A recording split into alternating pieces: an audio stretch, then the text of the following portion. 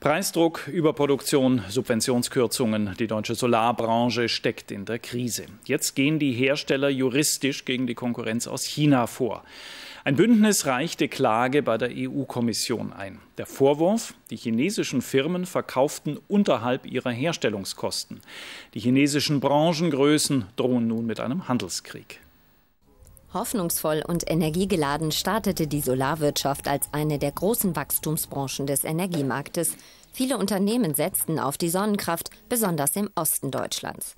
Dort sprach man in Sachsen-Anhalt schon vom Solar Valley.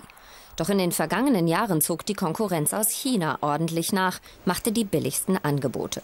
Und dann kürzte der deutsche Staat im April auch noch die Solarförderung. Mehrere deutsche Hersteller meldeten Insolvenz an. Jetzt wehren sich Unternehmen wie SolarWorld mit einer Klage. Hier geht es darum, den Markt, den weltweiten Markt an Solaranlagen zu dominieren und alle westlichen Hersteller vom Markt zu drängen. Das kann man sich einfach nicht gefallen lassen. Dafür gibt es ein geltendes Handelsrecht, das wenden wir an. Die klagenden Unternehmen erhoffen sich, dass China Strafzölle zahlen muss. Damit würden die Waren aus China teurer.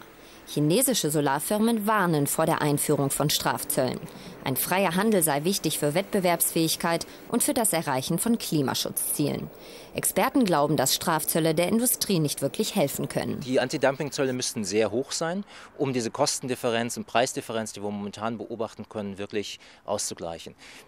Ich gehe davon aus, dass die Kostendifferenz, die wir grundlegend haben, in Deutschland, in Europa zu China, kaum dazu führen wird, dass wir große Marktanteilsrückgewinne erleben werden. Ob die EU-Kommission die Klage annimmt, will sie bis Mitte September entscheiden.